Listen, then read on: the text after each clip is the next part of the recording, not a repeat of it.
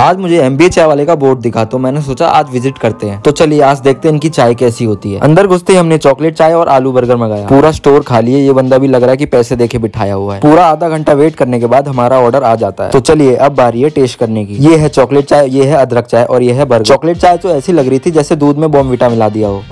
लगा दिया। अब बारी है बर्गर की। बर्गर भी कुछ खास नहीं था। इससे अच्छा तो गुप्ता जी बर्गर होते हैं जो पंद्रह रुपए में मिलते हैं। आप समझा जब इनकी दुकान खाली रहती है। इससे अच्छी तो यहाँ की चाय होती है एमबीए चाय वाले से।